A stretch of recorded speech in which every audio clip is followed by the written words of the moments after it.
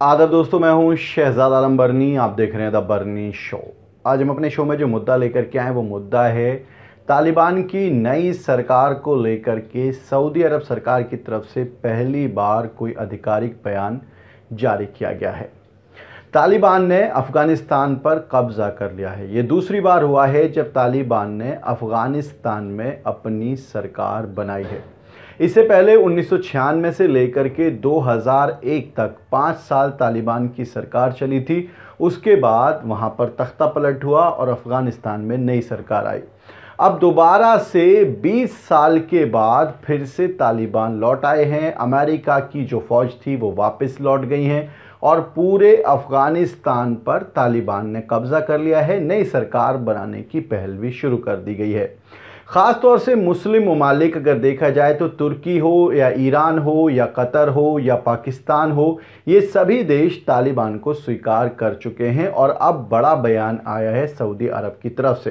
क्योंकि पिछले एक महीना हो चुका है इस घटना को, तब से अभी तक सऊदी अरब की तरफ़ से किसी तरह की कोई प्रतिक्रिया नहीं दी गई थी। लिहाजा ये एक बड़ी खबर है कि सऊदी अरब सरकार की तरफ़ से तालिबान के संबंध में एक बयान जारी किया गया है।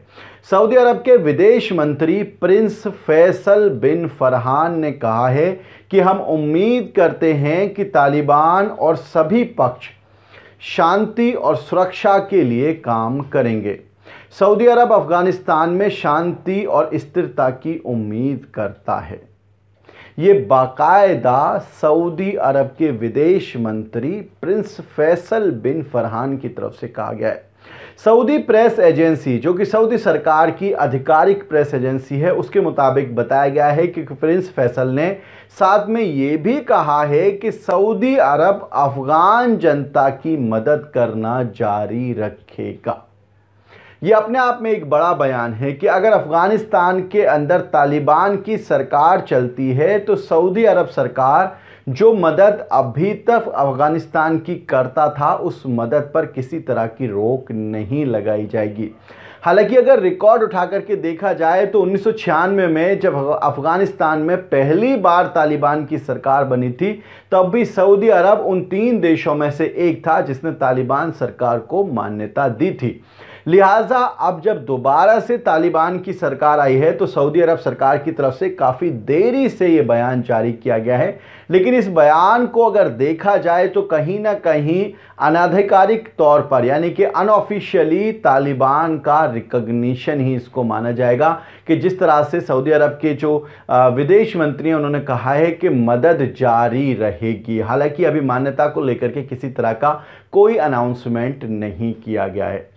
सऊदी अरब सरकार के इस बयान को, इस फैसले को आप किस तरह से देखते हैं अपनी राय ज़रूर बताएँ। वीडियो के नीचे कमेंट बॉक्स है, उस कमेंट बॉक्स में जाएँ, जाकर के अपनी राय हमें ज़रूर बताएँ।